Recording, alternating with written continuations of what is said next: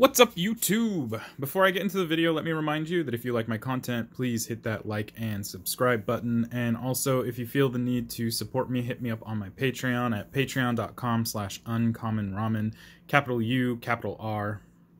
Uh, I do all this in my free time, so any amount of support can help me bring more of this content to you more often. All right, we are taking a look at a Kython Hero of Akros deck tech here. Um, this was my excuse to do a mono white deck and more importantly a mono white super friends deck and more importantly than, than that a mono white oops all Gideon's deck. This is going to be everything Gideon. And I'm not even joking. So we're just gonna jump into this and see what I got. Uh, we're gonna start here with Kytheon. Or Kithian. I don't know how to pronounce his name. Um, I'm, I'm pretty sure it's Kithian. It could be Kythion. Uh, anyway, Hero of Akros. He uh, costs one white, is a two white, uh, two one body. Uh, at the end of combat, if Kithian Hero of Akros and at least two other creatures attack this combat, exile Kithian and return it to the battlefield transformed under its owner's control. Uh, for two and a white, uh, Kithian gains indestructible until end of turn. He's a 2 1 body, so being able to make him indestructible is pretty necessary if you want to get that uh, trigger to flip him. He will turn into Gideon, Battleforged, uh, Planeswalker with 3 loyalty on ETB. Um, for plus 2, you can have up to one target creature an opponent controls attack Gideon during its controller's next turn if able. Uh, for its plus 1, until your next turn, target creature gains indestructible, untap that creature. And then for 0, until end of turn, Gideon Battleforged becomes a 4-4 human soldier creature uh, with Indestructible that is still a Planeswalker and then prevent all damage that would be dealt to him this turn. So there's going to be a lot of that. Um, a lot of the Gideons turn into soldiers. There's a couple that don't, which is weird, but it is what it is. Um, so we're going to have a little bit of soldier, soldier tribal going on in here too and just in general, a fun load of Gideons doing a whole bunch of Gideon things, which is relatively ineffective. So this should be a great deck, right? Anyway, moving on. That is our Kithian, Hero of Akros. That is our commander. He only costs one white, so you can run him out pretty quickly. Um, flipping him into the other side is the hard part, but you know, is what it is. We are going to look at creatures first. Starting with our Arena Rector. Um, this is a must-have if you're going to do any kind of white deck that has Super Friends in it. Uh, for 3 and a white, it's a 1-2. Uh, when it dies, you can exile it. If you do search your library for a Planeswalker card, put it onto the battlefield, then shuffle your library. Um, you can put just any Planeswalker onto the battlefield, and you don't have to pay for it just for this dying.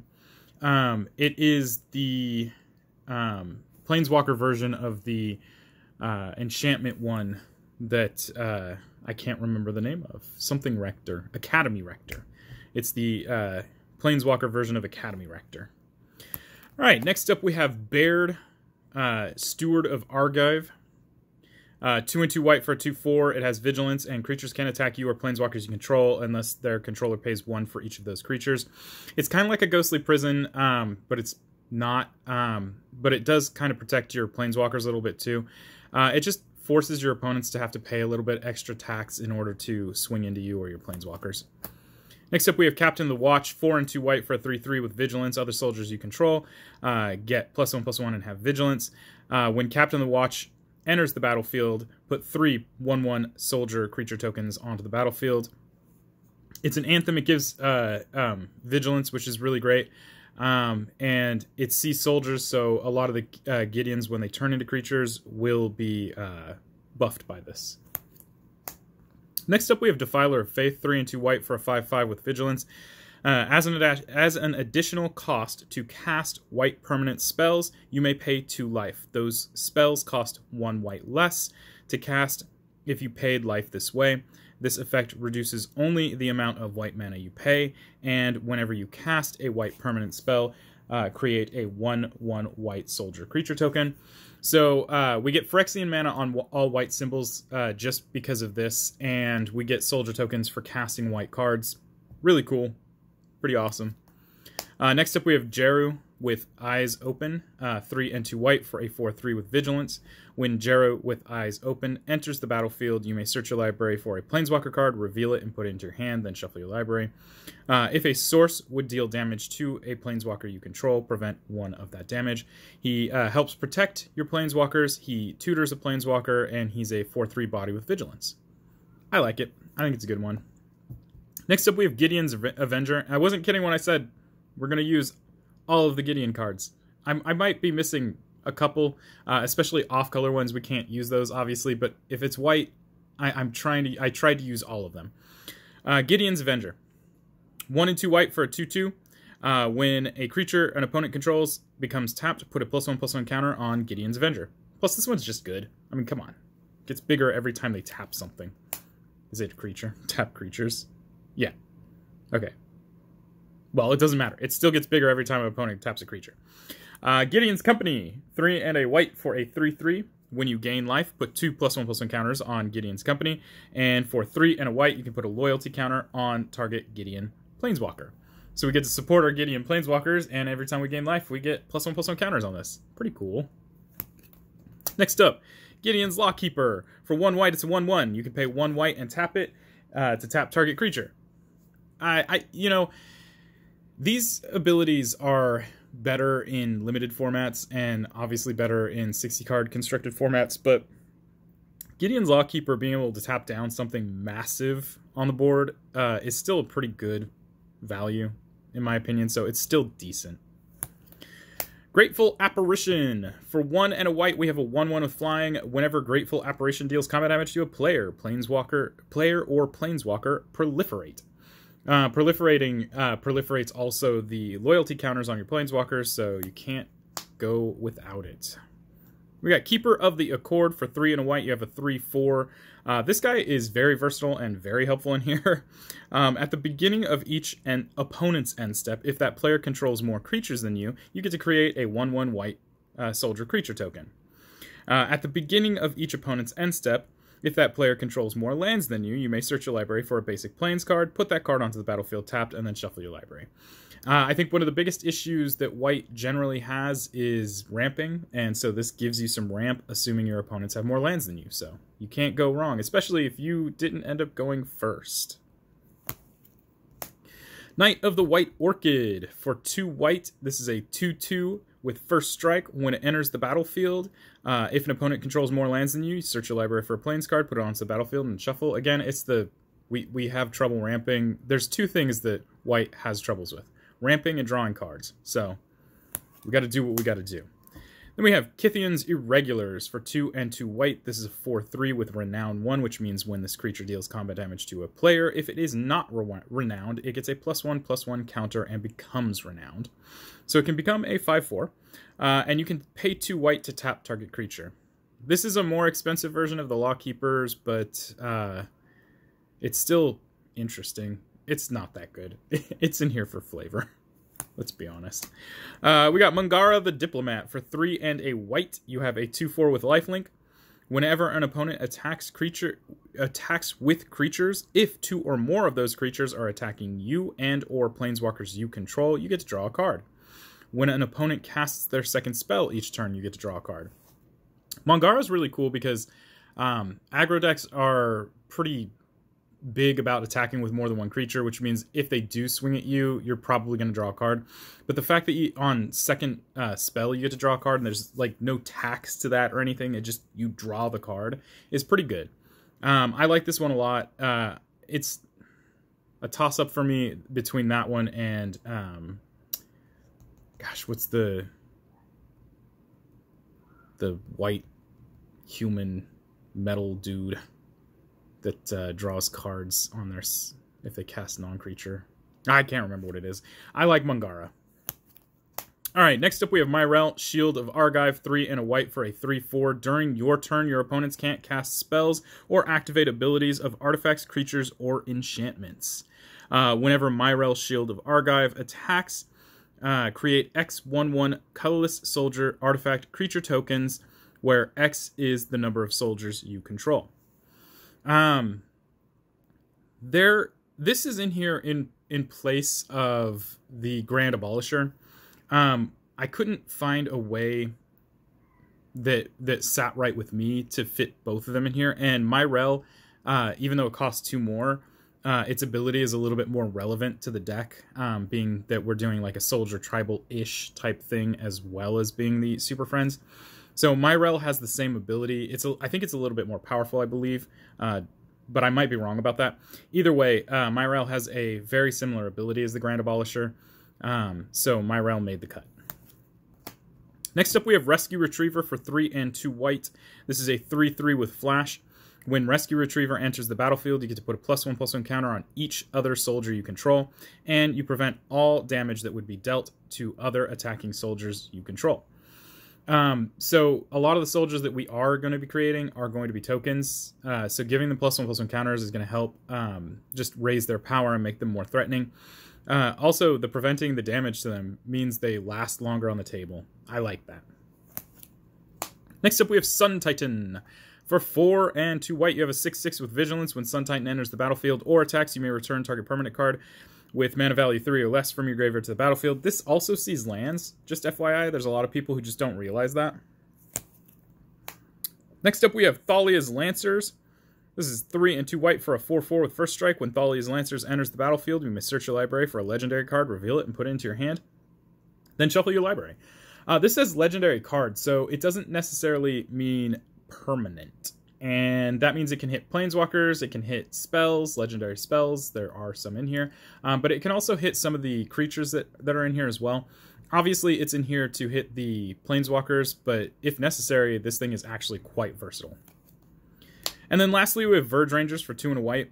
This guy's a 3 3 with first strike. You may look at the top card of your library at any time. As long as an opponent controls more lands than you, uh, you may play lands from the top of your library. Um, again, just in case we fall behind. White is pretty notorious for that. There's a lot of ways of fixing that in this deck, um, but that is the creatures. Next up, we're going to take a look at instants. The instants are pretty typical in here. A lot of it is spot removal. We'll start with our Generous Gift. Uh, destroy target permanent. Its controller gets a 3-3 elephant creature token. Um, it's just Beast Within, but a different color. Uh, we got Gideon's Phalanx for 5 and 2 white. Um, you get to put 4 2 2 white knight creature tokens with vigilance onto the battlefield if you have spell mastery, which means if you have two or more instant or sorcery cards in your graveyard. Uh, creatures you control uh, gain indestructible until end of turn. It's a very expensive card, but again, it's in here for the flavor. Uh, we got Gideon's Repro Reproach. Uh, for 1 and a white, Gideon's Reproach deals 4 damage to target attacking or blocking creature. Um, it's, again, spot removal, and it's flavorful. We got Gideon's Sacrifice for one white. Choose a creature or planeswalker you control. All damage that would be dealt this turn uh, to you and permanents you control is dealt to the chosen permanent instead. Um, so aggro decks are probably going to be the biggest weakness of this deck. So being able to focus the aggro towards one single thing is actually really helpful, especially if we focus it towards Kithian, because Kithian you can just recast. Um, and Kithian has an ability that forces your opponents, well, forces at least one of your opponent's creatures to attack it. But this just kind of forces them to attack with everything towards that one thing. And that could buy you a turn, and that could also just end the game. Who knows? Next up, we have Gideon's Triumph for one and a white. Target opponent sacrifices a creature that attacked or blocked this turn. If you control a Gideon Planeswalker, that player sacrifices two of those creatures instead. Uh, again, spot removal. It's not the greatest spot removal. Uh, sacrifice for uh, gives them the uh, benefit of choosing, but if they didn't have a lot of creatures in the first place, um, that could be very helpful. Next up, we have Ignite the Beacon for four and a white. Search your library for up to two Planeswalker cards, reveal them, put them into your hand, then shuffle your library. It's just a, a uh, tutor, but it's a pretty big tutor.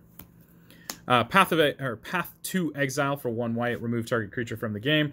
Uh, its controller may search their library for a basic land card, put that card onto the battlefield, tap, then shuffle.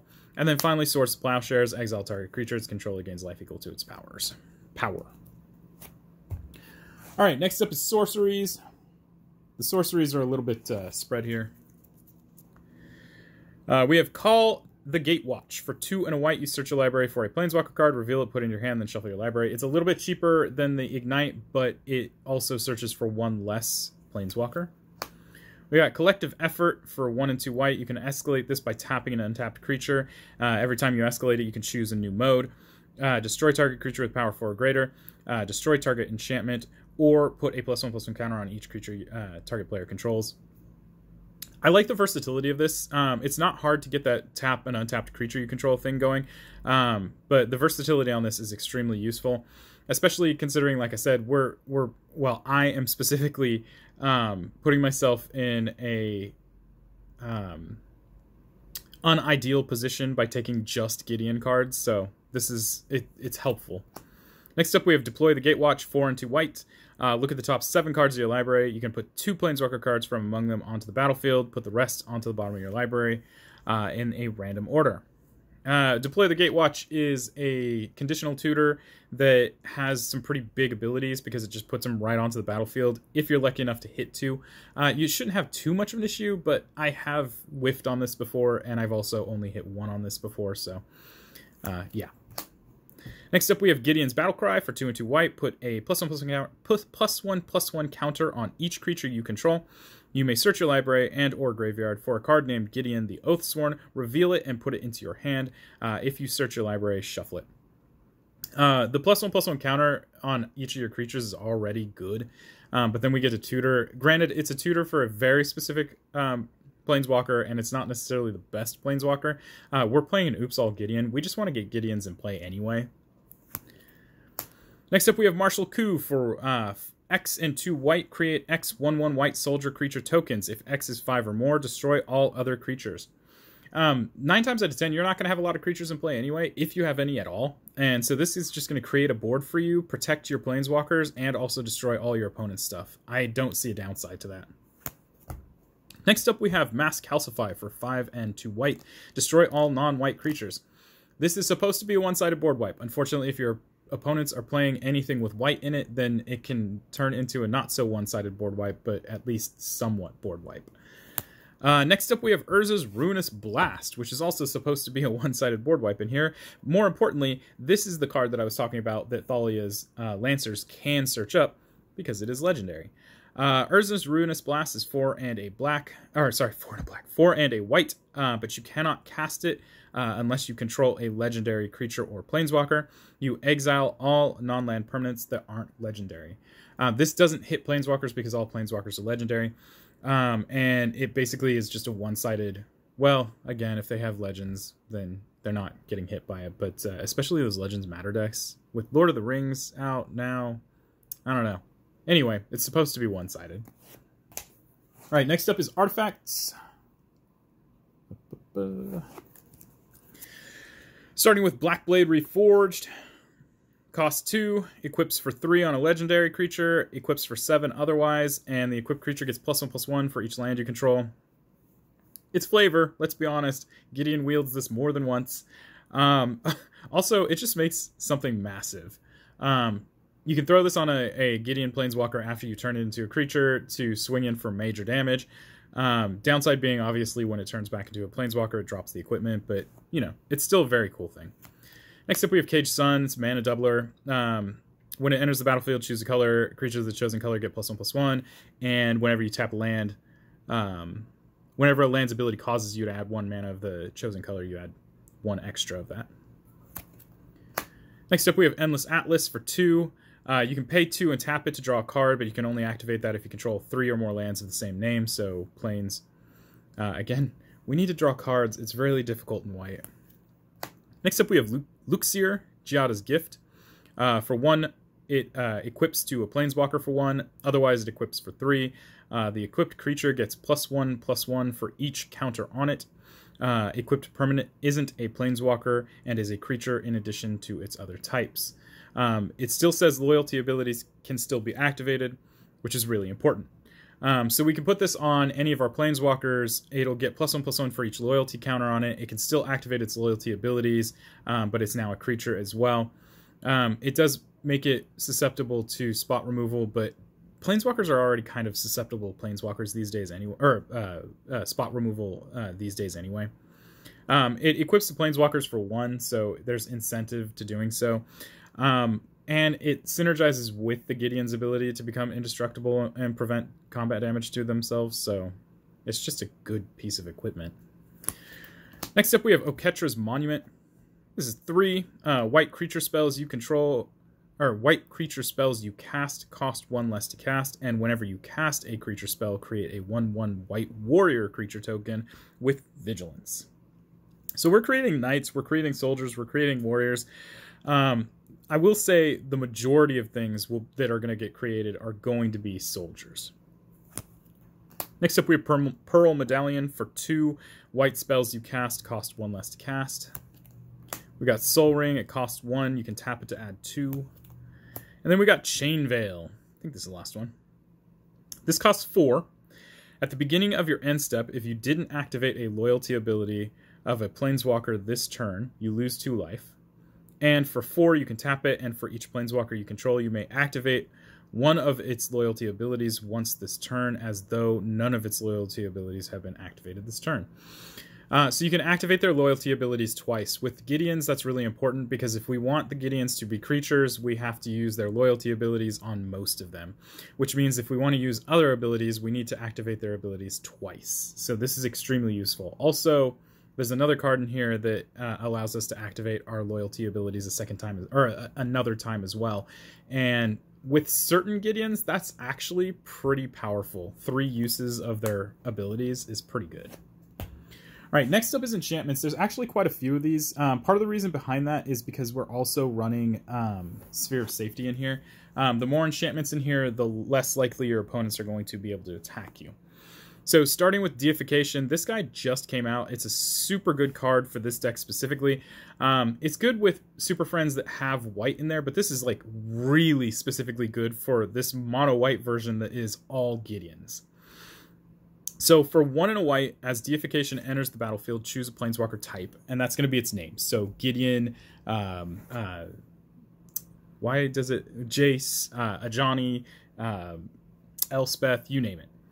Uh, planeswalkers you control of the chosen type have hexproof, so all of a sudden they can't be targeted.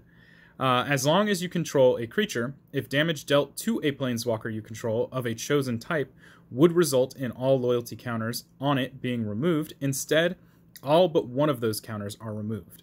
That is incredible in this deck. Um, not to mention, uh, we have somebody in here that prevents up to one damage from a uh, planeswalker, so that's pretty cool.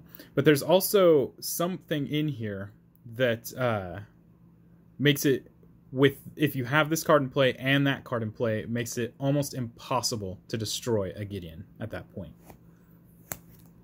Next up, we have Elspeth Conquers Death. Uh, it's a saga for three and two white. Uh, chapter one: Exile target permanent an opponent controls with converted mana cost three or greater. Uh, for chapter two, non-creature spells your opponent's uh, cast costs two more to cast until your next turn. And then for chapter three, return target creature or planeswalker card from your graveyard to the battlefield. Put a plus one plus one counter on a counter or a loyalty counter on it. Uh, just to reoccur uh, any planeswalkers that have died. Um, this is fantastic card. It should be included in any uh, Super Friends deck that has white in it. Then we got Elspeth's Talent. This is 2 and 2 white Enchant Planeswalker. The Enchanted Planeswalker has plus 1, create three one one white soldier creature tokens, and whenever you activate a loyalty ability on Enchanted on ability of Enchanted Planeswalker, creatures you control get plus 2 plus 2 and gain vigilance until end of turn. Um, I can't talk about how incredible that is. The first ability is the main ability of the best Elspeth in the game. And the second ability just gives them a huge buff in vigilance, which means they can attack and still block. Next up, we have Ghostly Prison for 2 and 2 white. Creatures can't, can't attack you unless their controller pays 2 for each creature you're, they control that's attacking you. Sorry, I can I can English. Um, again, the biggest downside to this deck is aggro decks. Aggro decks kind of just school this deck, so anything you can do to stop aggro decks from destroying you, you should have. Next up, we have Gideon's Intervention for 2 and 2 white.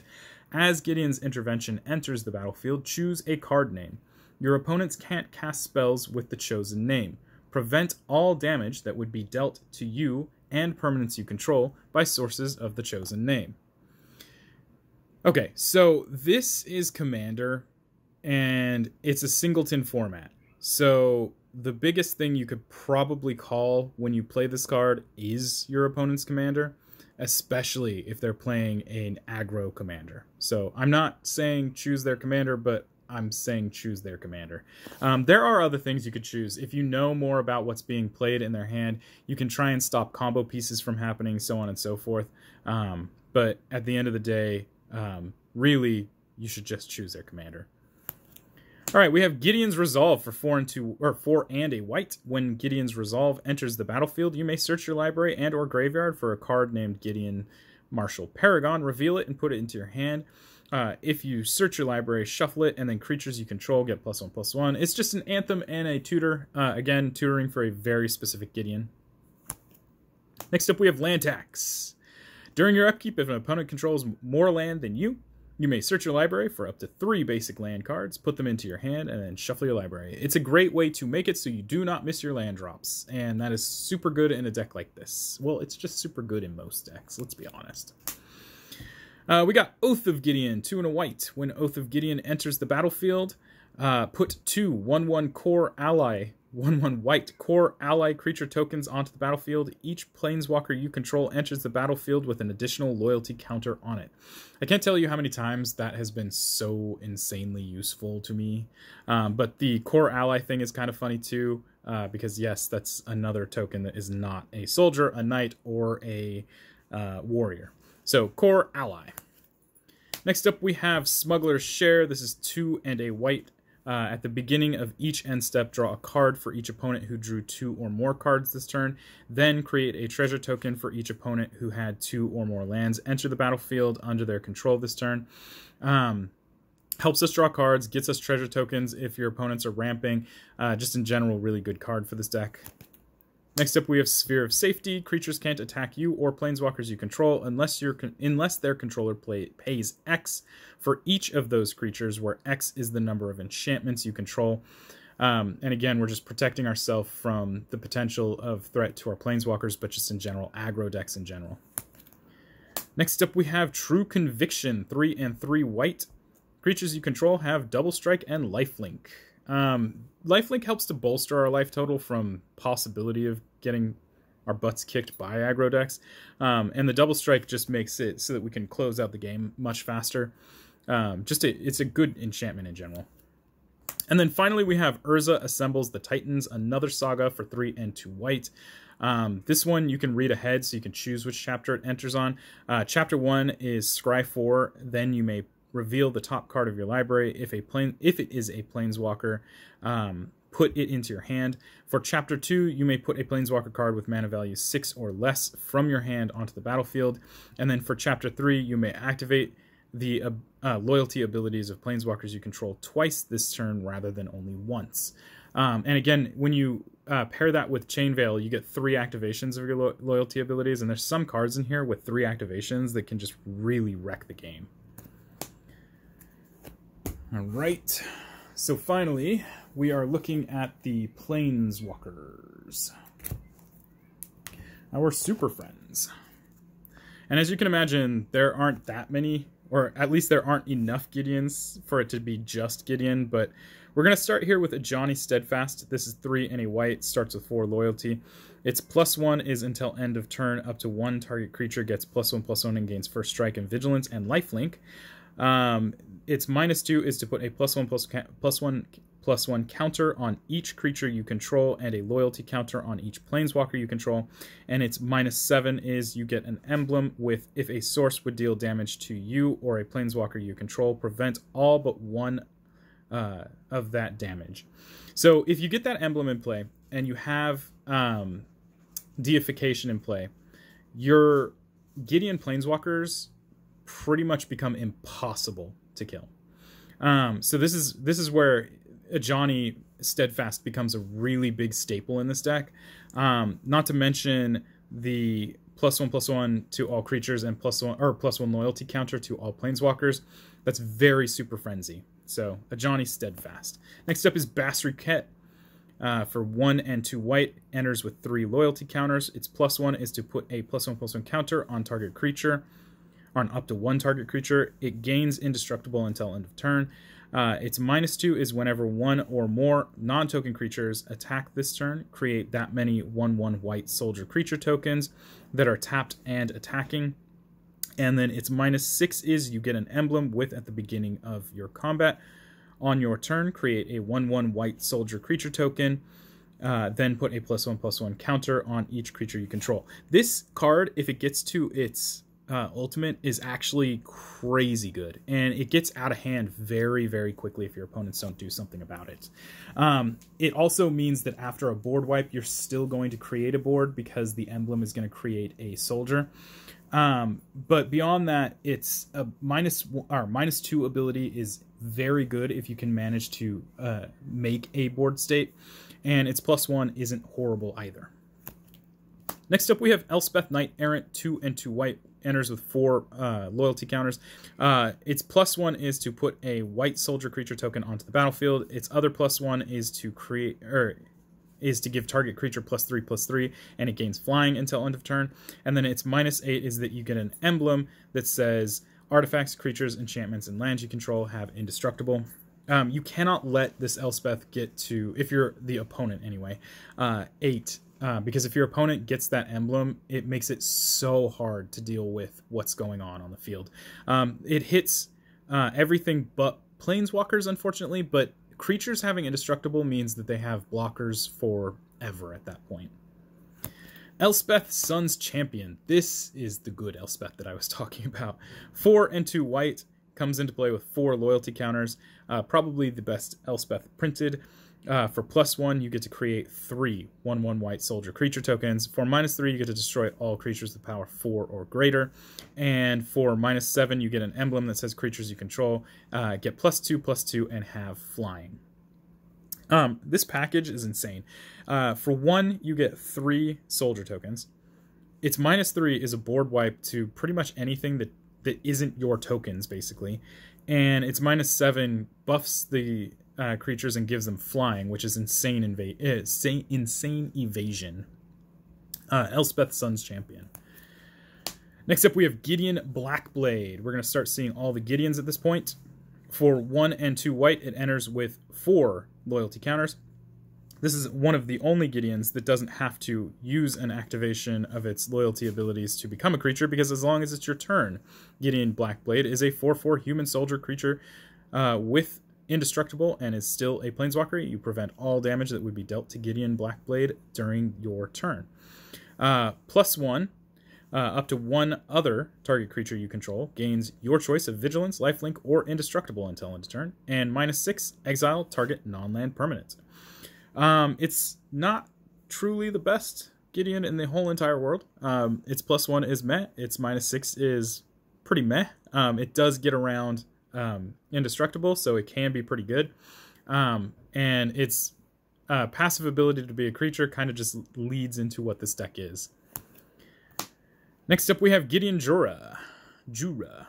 For three and two white, enters the battlefield with six loyalty counters for plus two during uh, target opponent's next turn. Creatures that player controls attack Gideon Jura if able, so he can sacrifice himself. Uh, for minus two, destroy target tapped creature. Um, hits a uh, spot removal on something that's tapped.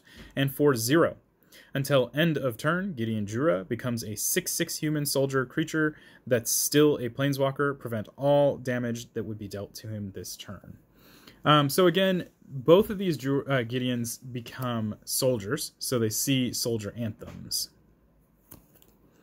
Next up, we have Gideon of the Trials. For one and two white, it enters the battlefield with three loyalty counters, plus one uh, until end, until your next turn. Prevent all damage that target permanent would deal.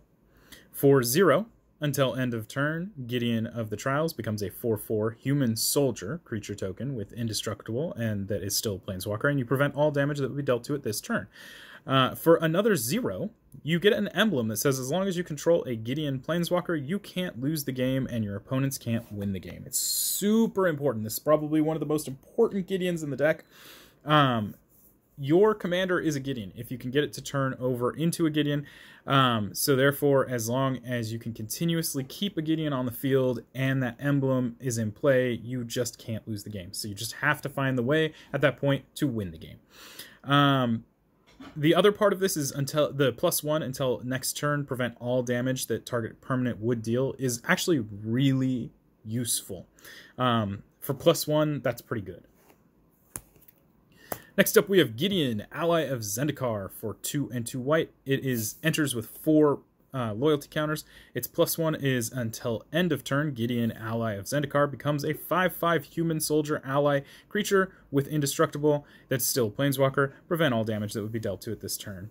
Uh, for zero, you can put a 2-2 white knight ally creature token onto the battlefield. Yes, I know, it's not a soldier. Um, and for minus 4, you get an emblem. Creatures you control get plus one, plus one. He, for minus four, just puts emblems out that are anthems, and you don't have to stop after you've put one in play. You can just keep putting more of those emblems in play, which means your creatures just get larger and larger every time. Um, so again, this is another one of those Gideons you don't want to keep on the table for too long.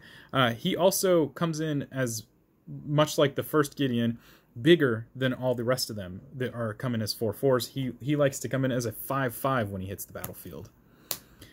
We got Gideon, Champion of Justice, for 2 and 2 white, has 4 loyalty counters on ETB. Uh, plus 1, put a loyalty counter on Gideon, Champion of Justice for each creature target opponent controls. For zero, until end of turn, Gideon, Champion of Justice, becomes a human soldier creature with power and toughness equal to the number of loyalty counters on him and gains indestructible. He's still a planeswalker and prevent all damage dealt to him this turn. For minus 15, all other uh, exile all other permanents. This is a crazy good card. Um, this won me a game at one point in time because this ended up coming out. Uh, the turn that Urza assembles the Titans did its final ability while I had a Chain Veil in play. So I was able to activate the first ability two times and get him up to easily 15 loyalty counters so that I could do the exile all other permanents, uh, leaving Gideon Jura or Gideon Champion of Justice on the table and forcing my opponents to pretty much rebuild from scratch because this hits lands too. It says exile all other permanents. That includes lands, uh, which meant that as long as Gideon was on the table, he was just getting bigger and bigger and bigger, and eventually he was going to attack it and win. And even if he didn't, I think he had two loyalty counters on him. I could just attack for two every turn. Um, it was a really good uh, sweep at that point. Next up is Gideon Martial Paragon. Uh, four and a white for a planeswalker that enters with five loyalty counters. Its plus two is untap all creatures you control. Those creatures get plus one, plus one until end of turn. Its zero is until end of turn. Gideon Martial Paragon becomes a 5 5 human soldier creature token with indestructible. That's still a planeswalker. Prevent all damage that would be dealt to him this turn. Uh, and then its minus 10 is creatures you control get plus 2 plus 2 until end of turn. Tap all creatures your opponents control. So it's minus 10 is meant to be a uh, game ender. Its plus 2 is good if you have multiple combats. Otherwise, it's good for bringing blockers back up. It's not a great card, let's just be honest.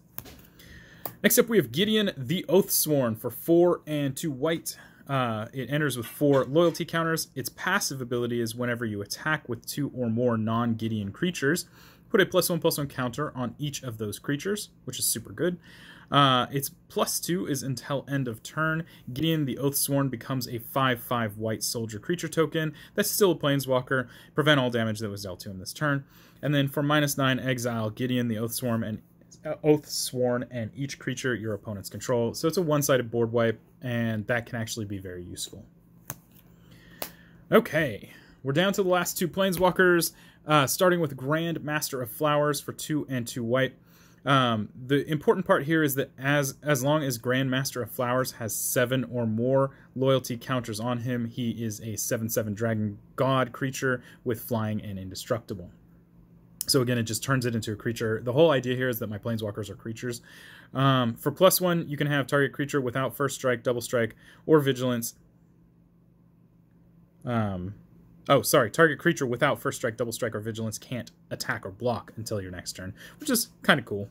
Uh, and its other plus one is search your library for, or and or graveyard for a card named Monk of the Open Hand. Reveal it, put it into your hand, and then if you search your library this way, shuffle. Uh, we don't have any Monk of the Open Hand in here. Uh, we're really just banking off this first ability and proliferates and stuff like that so that we can turn him into a 7-7 Dragon God with flying and indestructible. And then finally, we have the Wanderer, the original Wanderer from uh, uh, War of the Spark. Uh, three and a white enters with five loyalty counters. Its um, passive says prevent all non combat damage that would be dealt to you and other planeswalkers you control, forcing your opponents to have to attack your planeswalkers if they want to kill them or use spot removal that doesn't do damage. Uh, for minus two, you can exile target creature with power four or greater.